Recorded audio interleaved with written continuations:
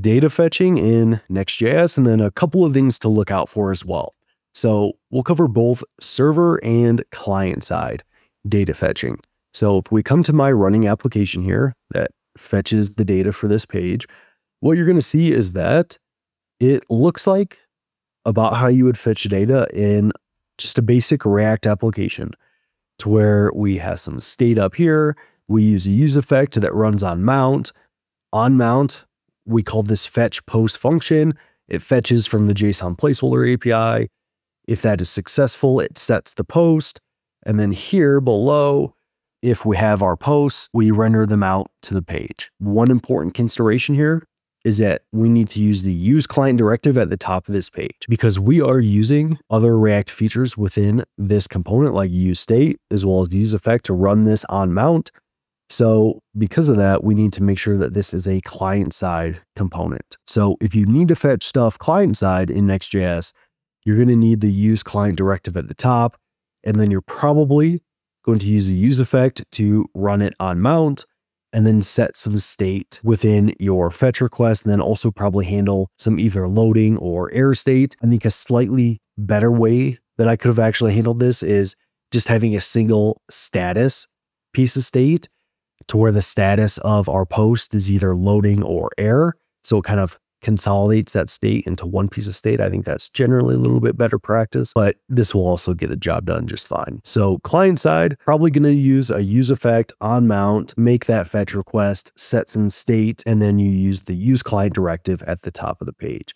And this this is a, a way to do it. You might have to do this sometimes throughout your Next.js applications, and this is still a, a valid way to fetch data. However, Next.js recommends that you fetch data server side, or at least you first try to fetch data server side. And this is kind of how you do it server side.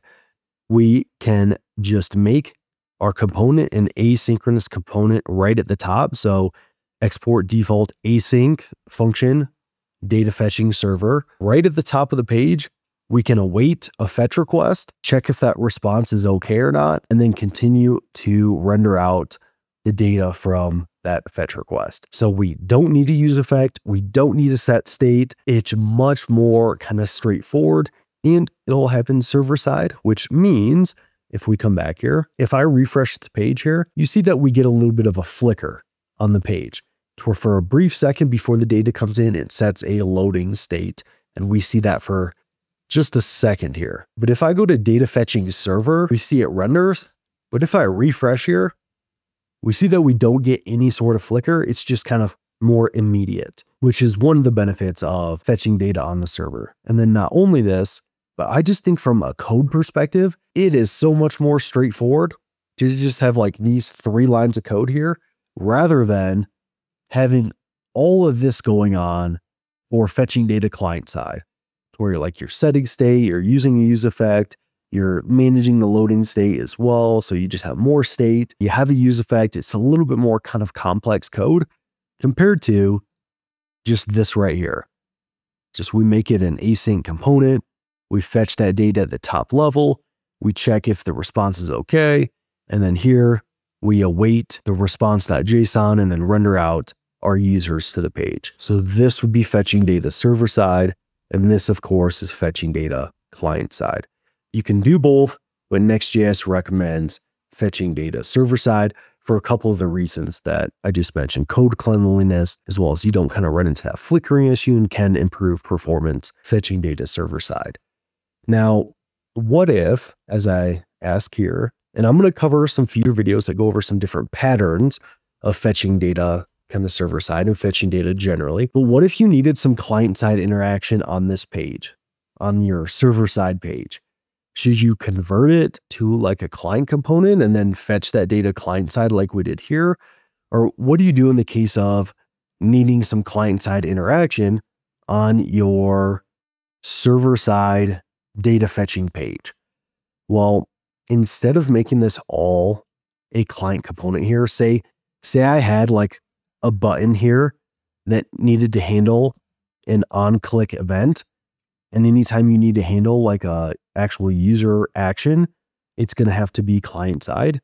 What we would do instead here is we would just create our own client side component and then import it into this page. So rather than having like this client side button and then on click, we will just pass a function that doesn't do anything. We'll just console.log clicked. This is not going to work because event handlers cannot be passed or cannot be used within our kind of server component here. But rather than turning this entire component client side and needing to change all this data fetching into client side data fetching, a much better way to solve this is we can just create a new component.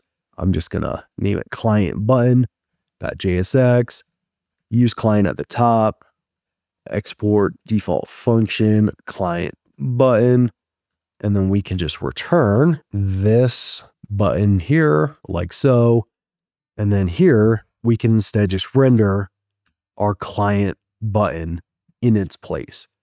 So then all this still stays server side, but we just kind of leave open a slot to render this client side button.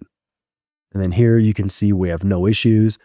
We can click on this button here. And when I open my console, you can see that I was indeed clicking on it four times, clicking on it again. So that's all working as expected, but we didn't have to change this all to client side. So that's something to look out for. If you do do server side fetching, there's often ways that you can keep it server side, even if you need to do some client side stuff on that page. So just as a quick recap here, for client side fetching, you're going to need to use the use client directive at the top of the page.